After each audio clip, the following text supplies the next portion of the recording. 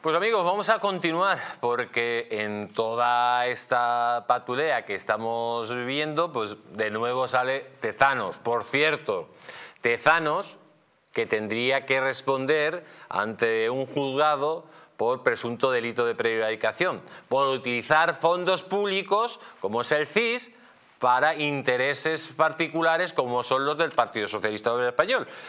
Cierto, hoy las encuestas son de chiste, o sea, en medio del mayor caso de corrupción, en medio de que el Partido Socialista se está, eh, mm, bueno, está directamente acorralado por norte, sur, este y oeste.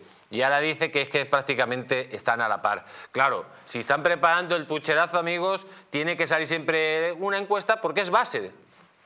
Si es que es de manual de pucherazo, las encuestas de Tezano es de manual de puchero. Dice la siguiente noticia, Feijó ironiza con la subida del Partido Socialista Obrero Español en el CIS. Dice, cuando más caso Coldo, más suben en las encuestas.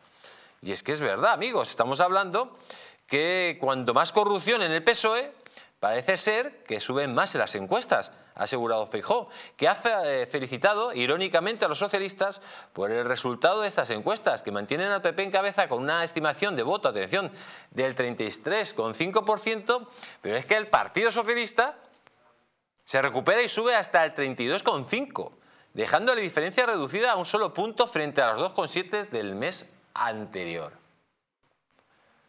O sea, sí que sale como Begoña Gómez intervenía en los contratos. Bego la conseguidora. Que sale como el gurú de Begoña Gómez, el señor Barrabés, cuando llegan al Partido Socialista al poder, pasa de factura 57.000 euros a 20 millones.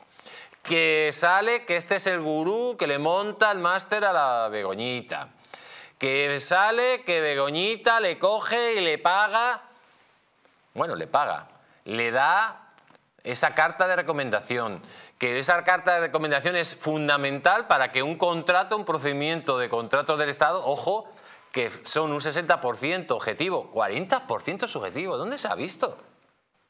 O sea, es que eso hace que los contratos se den a dedo. Si el 60% son datos subjetivos y el 40% es subjetivo, el contrato se da a dedo.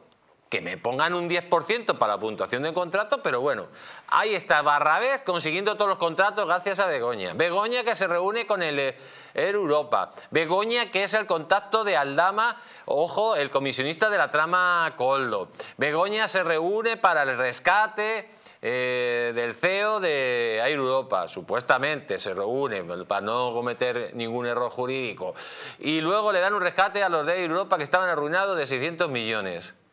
Y me viene ahora este, el Tezanos, que es que encima va a sacar más votos el Partido Socialista.